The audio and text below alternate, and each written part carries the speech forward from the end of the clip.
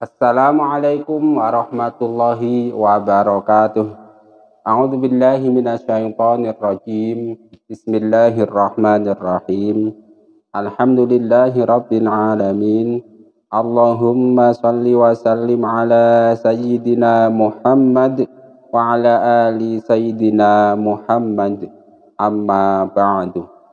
Kaum muslimin rahimakumullah, marilah kita sama-sama melanjutkan belajar membaca kitab Sahih Bukhari karangan Imam Bukhari. Kali ini kita sampai pada kitab keempat babnya bab ke-33 tentang babul ma'i alladhi yuksalu bihi sya'aru sya'arul insani. Air yang digunakan untuk mencuci rambut manusia. Kaum muslimin rahimakumullah pada bab kali ini Imam Bukhari itu mau menjelaskan kepada kita bagaimana hukumnya air yang sudah digunakan untuk mencuci rambut manusia. Satu. Lalu bagaimana hukumnya air yang dijirat oleh anjing atau sisa air yang diminum oleh anjing. Maksudnya misalnya ada bejana wadah ada airnya. Nah lalu anjing itu minum di situ atau menjilat air di situ. Itu hukum airnya gimana? Nah yang kedua. Lalu yang ketiga, tempat yang digunakan lalu lalang oleh anjing itu hukumnya gimana? Nah gitu kan. Nah yang pertama, air untuk mencuci rambut manusia. Jadi kalau ada air, maksudnya ini air yang kurang dari dua kulah ya. Yang kita mau bahas itu air yang kurang dari dua kulah.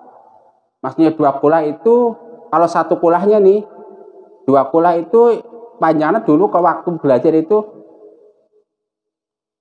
panjang 60 cm, dalamnya 30 cm, lalu lebarnya 30 cm. Jadi air ukurannya 60 cm persegi itu dinamakan dua kulah. Kalau kurang dari itu, nah air tersebut itu rentan terkena najis. Nah, sekarang kita kembali pada topik pembahasan bagaimana hukumnya air yang digunakan untuk mencuci rambut manusia. Maka di sini ada dua pendapat yang dapat saya pahami. Pertama yang mengatakan air tersebut suci. Siapa di antara ulama yang mengatakan suci di antaranya adalah Imam Bukhari berdasarkan penjelasan Fathul Bari oleh Imam Ibn Hajar Al-Asqalani. Lalu yang kedua juga adalah Imam Syafi'i berdasarkan penjelasan Imam Ibn Hajar Al-Asqalani dalam kitab Fathul Bari.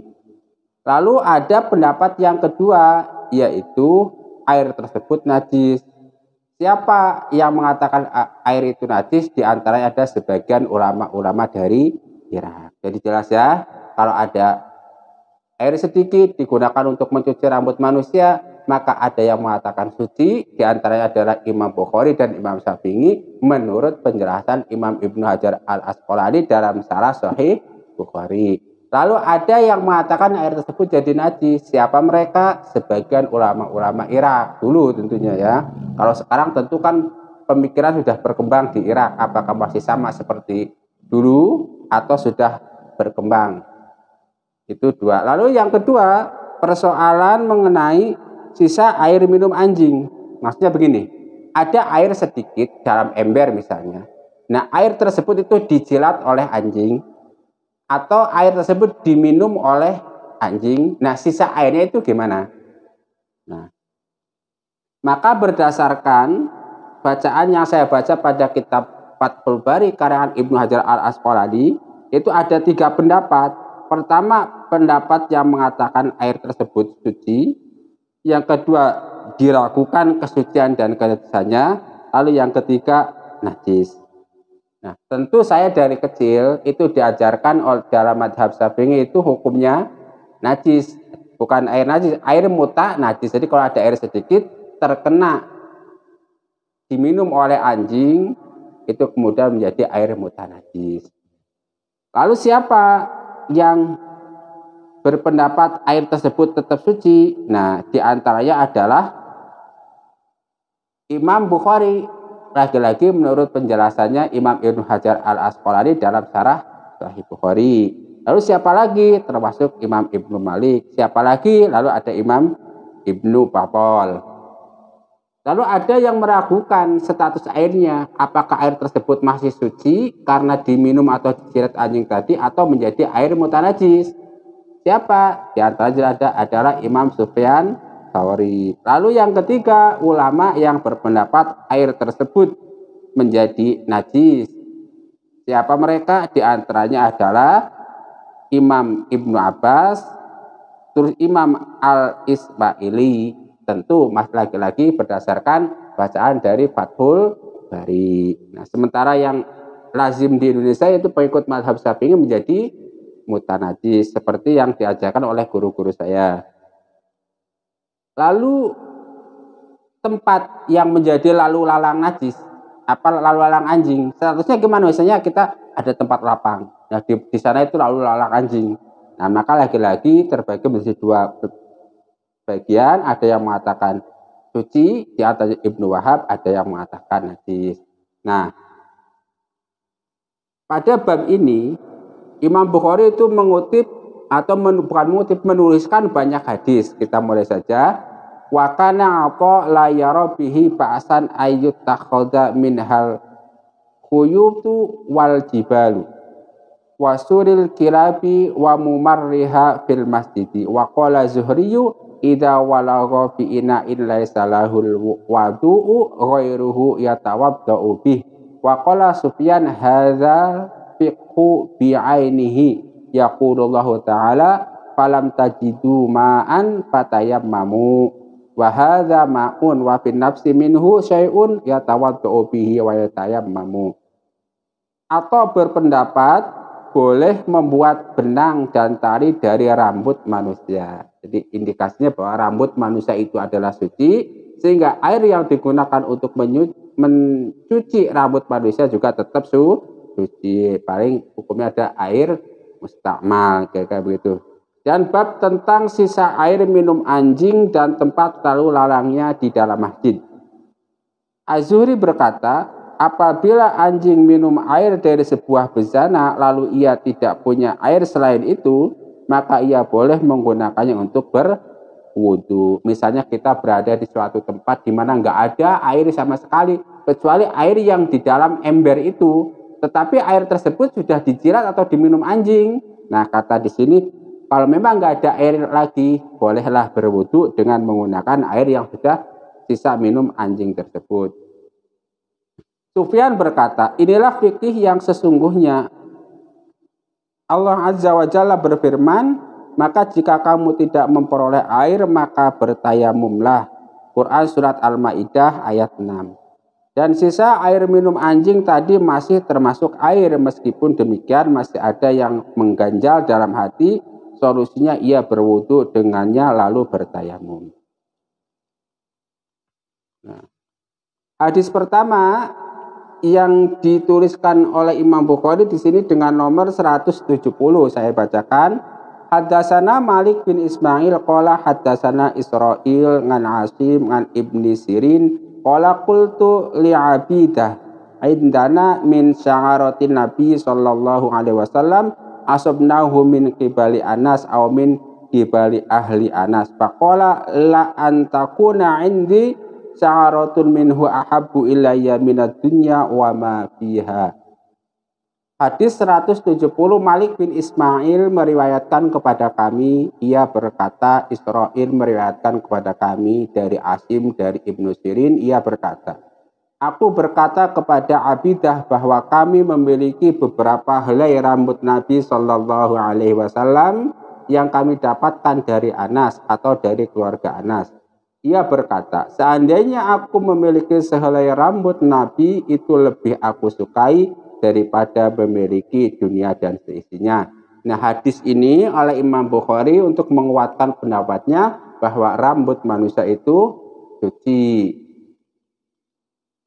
Lalu hadis nomor 171 hadasana Muhammad bin Abdurrahim qala akhbarana Sa'id bin Sulaiman qala hadasana Abbad ngan Ibni Aun ngan Ibni Sirin ngan Anas anna Rasulullah sallallahu alaihi wasallam lama halaqa sahu kana Abu Talha awalaman akhadha min sya'arihi.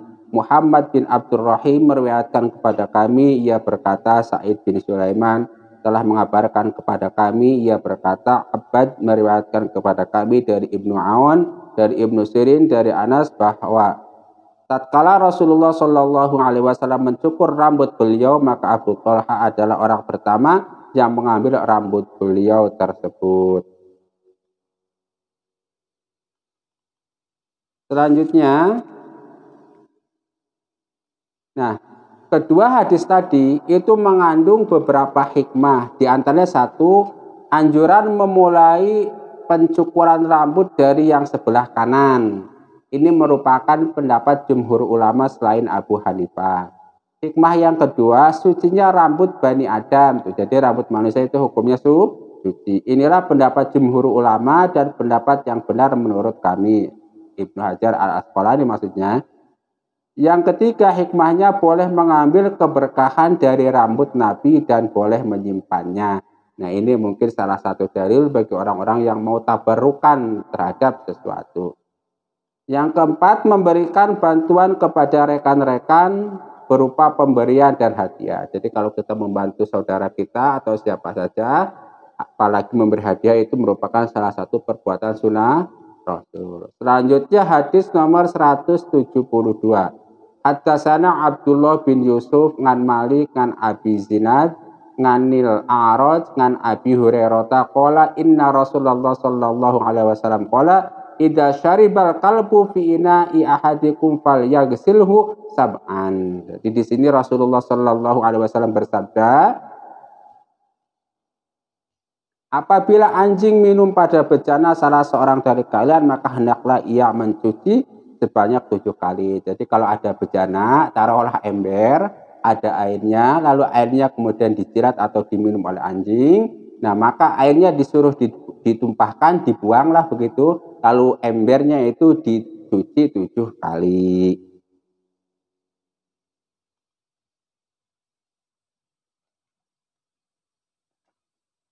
Nah ini tentu sesuai dengan pendapat yang mengatakan bahwa air yang dijilat anjing itu hukumnya najis Nah, hadis ini juga mengandung beberapa hikmah, di antaranya satu merupakan dalil merupakan dalil bahwa benda najis bisa menajisi benda-benda di sekitarnya dengan catatan benda najis itu berupa benda cair. Nah, itu contohnya. Ini yang diminum oleh anjing itu kan air. Nah, tetapi air ini kemudian menjadi mutanajis dan air yang mutanajis ini kemudian menjadi bejana atau ember tadi itu nah najis. Lalu hikmah yang kedua, menunjukkan najisnya benda cair yang jatuh ke dalamnya benda najis serta membuat najis bejana yang bersentuhan langsung dengan benda cair tersebut. Jadi kalau ada benda cair di suatu wadah, suatu bejana misalnya baskom berisi air, lalu kemasukan kotoran tikus misalnya. Nah, maka air tersebut menjadi air mutanajis karena airnya najis lalu baskomnya juga menjadi najis dan harus dicuci. Yang ketiga, menunjukkan bahwa air yang sedikit akan menjadi najis apabila dijatuhi oleh benda najis ke dalamnya walaupun tidak mengubah sifat-sifatnya karena sifat-sifat air dalam bejana yang diminum anjing tidaklah berubah. Nah, air yang sedikit kalau ketiba apa kejatuhan najis meskipun airnya tidak berubah sama sekali tetap dihukumi air muta najis karena sedikit sedikit. Tapi kalau airnya banyak, maksudnya banyak itu lebih dari dua pula 60 cm persegi tadi itu lebih dari gua nggak masalah. Kalaupun kejatuhan air apa najis gitu kan.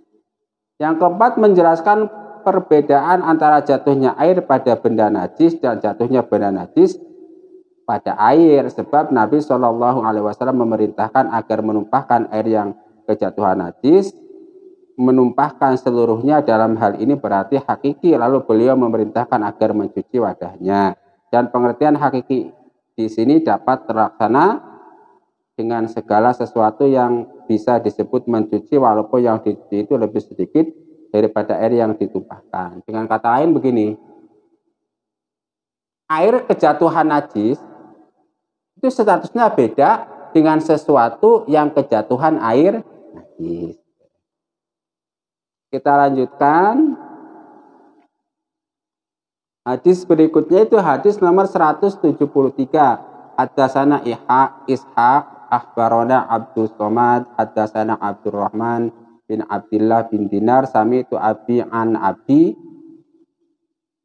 Sami itu Abi ngan Abi Solih ngan Abi Hurairah ali Nabi sallallahu alaihi wasallam. Anna rajulan ra'a kalban yakulu tara minal atasi fa akhadha ar-rajulu khuffahu faja'ala yaghrifu lahu bi hatta arwahu fa syakarallahu lahu fa adkhalahul jannah bahwasanya dahulu ada seorang laki-laki yang melihat seekor anjing memakan tanah karena kehausan. Maka laki-laki itu melepas kauf sepatunya, lalu menciduk air dengan kaufnya itu, lalu memberikannya kepada anjing tersebut sampai puas. Maka Allah bersyukur kepadanya dan memasukkan ke dalam surga. Maksudnya begini nih, jadi ada anjing yang sedang menjelati tanah, tanah basah tentunya karena kehausan Kemudian ada seorang laki-laki lewat melihat anjing tersebut. Nah, lalu laki-laki tersebut itu karena kasihan melepas sepatunya lalu menciduk air dengan sepatu tersebut dan diberikan kepada anjing.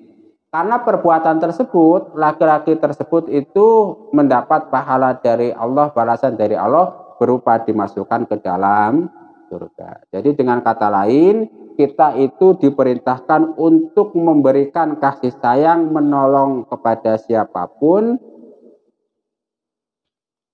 meskipun itu seekor anjing. Seekor anjing saja harus ditolong, apalagi yang lainnya. Lalu hadis yang ke selanjutnya hadis 174. Waqala Ahmad bin Syabib hadasana Abi ngan Yunus ngan Ibni Syihab. Qala hadasani Hamzah bin Abdullah ngan Abihi. Qala kanat kanatil kilabu tabulu wa tuqbilu wa tudbiru fil masjidi fi zamani Rasulillah sallallahu alaihi wasallam. Falam yakunu yarusuna say'an min dalika Ahmad bin Syabi berkata, ayahku meriwayatkan kepada kami dari Yunus, dari Ibnu Syihab, ia berkata, Hamzah bin Abdullah meriwayatkan kepadaku dari ayahnya, ia berkata, Dahulu anjing-anjing kencing dan lalu lalang di masjid pada masa Rasulullah Shallallahu Alaihi Wasallam. Mereka para sahabat tidak memercikan apa pun untuk membersihkannya. Nah ini dijadikan dalil bagi orang-orang yang mengatakan bahwa tempat yang dilalui oleh anjing itu suci. Dulu di zaman Rasulullah ketika belum ada larangan dan lain-lain tentang berkaitan lewatnya anjing, mereka lalu lalang di dalam masjid. Tentu sekarang sudah berbeda konteksnya. Selanjutnya hadis nomor 175. Hadasana Hafs bin Umar qala hadasana Su'bah an Ibni Abi Safar an Sa'biyyi ngan Adi bin Hatim qala sa'altu Nabiyya sallallahu alaihi wasallam faqala Idza arsalta kalbaka al-muallama faqatala faqul wa idza akala fala taqul fa innama amsakahu ala nafsihi qultu Ursilu kalbi fa ajidu ma'hu kalban akhor. Qala fala tangkul fa inna ma samaita ala kalbika walam tusami ala kalbin akhor. Aku pernah bertanya tentang suatu hal kepada Nabi, lantas beliau menjawab, Apabila kamu melepas anjingmu yang terlatih lalu ia membunuh hewan buruan, maka makanlah hewan tersebut. Dan apabila anjing itu memakannya sesudah membunuhnya, maka janganlah kamu makan. Sesungguhnya anjing itu menerkamnya untuk dirinya sendiri. Aku pun bertanya bagaimana apabila aku melepas anjingku, ternyata aku menemukan anjing lain bersamanya. Beliau menjawab, jangan kamu makan hewan tangkapannya. Sesungguhnya kamu membaca basmalah atas anjingmu saja bukan atas anjing yang lain. Nah, ini juga dijadikan menjadi dalil bagi orang-orang yang menghukumi air yang dijilat oleh anjing itu tidak najis. Seperti hewan yang sudah dibunuh oleh anjing tidak najis. Jadi hadis ini itu menceritakan bahwa ketika berburu dengan anjing, lalu anjing menangkap buruan dan tidak memakan buruan tersebut, maka itu boleh dimakan atau halal kira gitu. Tetapi ketika anjing tersebut memakan buruan tersebut, maka itu nggak boleh dimakan atau dengan kata lain haram. Nah lalu ketika ada anjing berburu, kita melepas ekor anjing, eh ternyata nanti kita menemukan buruan kita bersama anjing-anjing yang lain. Nah maka itu juga nggak boleh dimakan. Kenapa? Alasannya karena kita itu tadi sudah membacakan asma Allah bersama melepasnya anjing kita, bukan anjing yang lain. Mudah-mudahan bermanfaat. Jangan lupa like dan subscribe channel ini. Rabbana taqabbal minna innaka antas samiul alim wa tub alaina innaka antat tawwabur rahim. Subhanakallahumma wa bihamdika asyhadu an la ilaha illa anta astaghfiruka wa atubu ilaik. Wal afa minkum wassalamu alaikum warahmatullahi wabarakatuh.